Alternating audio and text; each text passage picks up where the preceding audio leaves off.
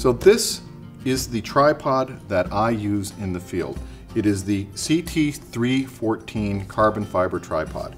It has three legs and it has sponge grips here. And now there's a misnomer about carbon fiber, which I've discovered, and you're looking at the solution to this problem. The first misnomer is that carbon fiber does not heat up and it does not get cold. It does eventually heat up and it does eventually get cold. And what's nice about having these is that when you put it on your shoulder, when that event does occur, it's not as hot or as cold. The other thing that is nice about having these is that when you put it on your shoulder, the rigidity of the carbon fiber pole doesn't dig into your shoulder. Now the nice thing about this is how light this is. Actually the ball head is heavier than the set of sticks. So what we're going to do is we're going to take a look at the ball head first. First thing we're going to take a look at is where you actually put the camera. Now if you notice you have a bubble level here as well as having a bubble level here.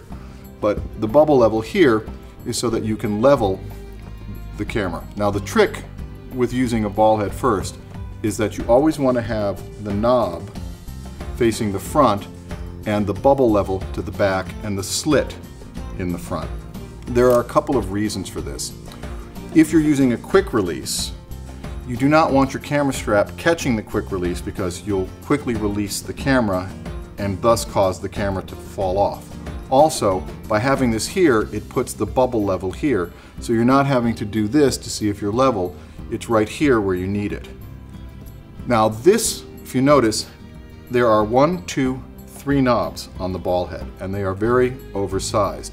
Several tripods have, or ball heads rather, have four knobs. There's a reason why there are three. The problem is that the tension knob and the knob that moves the ball head are usually about the same size, if not the same size. So you can have this whole operation set up, and then if you grab the wrong knob, oh, let me show you what happens, is that it'll fall down like this. Or you grab the wrong knob, and next thing you know, you've moved out of position. This is not something you want to do with a tripod. The whole purpose of a tripod is to lock everything into place. The tool that you need is the universal screwdriver. What you do here is you can take any coin up to a quarter that'll fit right here. You get the tension that you like.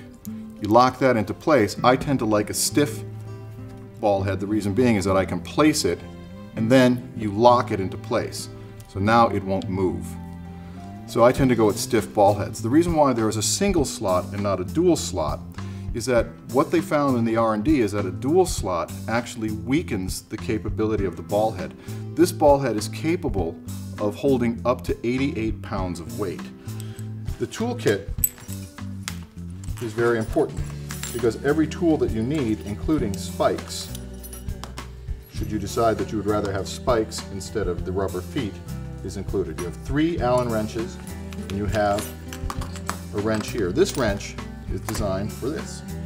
So what you can do is put this here, release the center screw, and if you notice, you have a screw that has two parts. Depending on what the screw in is for the attachment you want to put in your tripod, it's designed for that. So let's see how to use this. So what we're going to do here is we've set the screw to about the depth that we want for the tripod, which is about right there. I'm going to put this plate here, put this here, screw it in, and then with my wrench, tighten it. Now if you notice, there's a screw right here and back here. This screw uses this Allen wrench. And this is very important. You put this here. Once you have the ball head on, you want to use this screw to tighten it in to hold the ball head in place. So you have all the tools that you need. So let's take a look at the plate that actually goes in here. You notice that there are two screws here. And if we look right here, there are two indentations.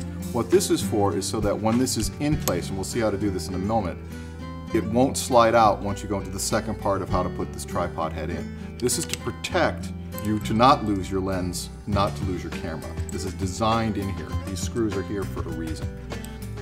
This is all the way locked in. I move this and I get to a stop. What I'm going to do is move it forward a little bit, pull, and then twist it more. Built in here is a stopping mechanism. What you're seeing here is that this is now fully extended. Now what I'm going to do is twist this until I hear a lock. Now if we look, let me lock this for a second, right there, you see that there is a white guideline. This white guideline is very important to make sure that you're lined up. So I'm going to line this up. Now what I want you to see is that once we've locked it, I cannot lose this. It's not going to go anywhere. This is a safety mechanism so that you can lock this and then when I lock this in place, it doesn't go anywhere. Now, I can set this where I want and then twist it and I'm done. And what I want you to see is that no matter what odd angle I put this at, once I'm locked in place, the camera's not going anywhere. This operation is the most important aspect of a tripod, is how stable the tripod is and how stable the connection to the tripod it is. And it's very important to keep in mind that with a tripod, you never want to extend this center tube. When you buy a tripod, the way in which you should pick a tripod for you is to extend the legs all the way out and have it be at eye height. And the last set of legs that you ever want to extend out are the bottom ones. That you want to be able to get 90% to 100% there with the thickest part. And that this is just for adjustment. Because you're only as stable as the weakest link. And if you have very thin legs at the bottom, again, it's not designed to hold the weight of the camera. So when you pick a tripod, it's always at eye level so that when I'm done, what this should be is that when it's fully extended, it should be as close to here as possible so that it's at its most stable. You never want to raise the center pole. The reason why this center pole is here is for this. Let me point this out too. You see this here? This is a very important thing to have on a tripod. You put your camera bag here and it becomes a weight that holds the tripod down even more. So to flip this, what you do is you release this and I now am able to shoot at ground level with the tripod. That's why a center column is useful, but you never want to extend the center column up. I tend to use a smaller center column for just that reason, but the advantage of a longer center column is you can see how much more stable I am with this longer center column because I'm still at a tripod. You can, with these releases, extend your tripod out this way. But the problem here is that if you extend these legs further out, then you get a little bow. So you want to try and keep this as close to this configuration as possible. And again, by holding on to this. You see how much control I have on my tripod by simply working it this way. I can get any shot I want. I can get right down here. I can photograph that right there. I'm totally and completely stable. You have these releases here, which allow you to extend to here, to here, or to here. The beauty of this too is the ease of use with these oversized knobs. One of the nice things about this tripod is also the increased surface areas of all of the things on a tripod that you want to have surface area on. If we look at the entire spider operation, which is this area here, the oversized column lock, you see how big these things are? This is great if you're in a cold environment and you need to grip on something. You're wearing gloves. Makes it so that this is more manageable when you have the glove on. Same thing here, these are all oversized the ease of twisting this out and then locking this.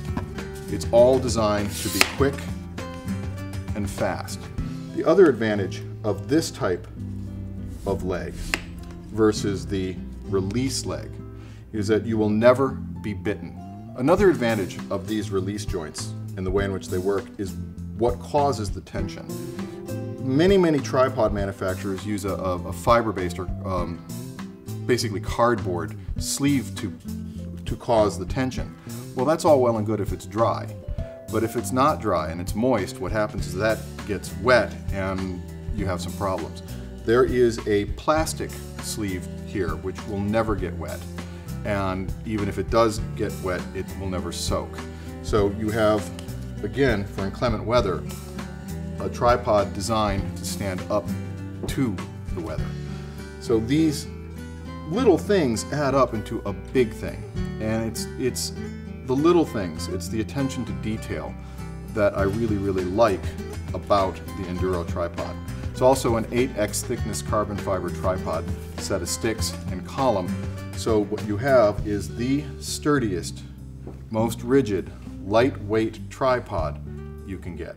And that is the Induro carbon fiber tripod. And trust me when I tell you, this tripod endures me.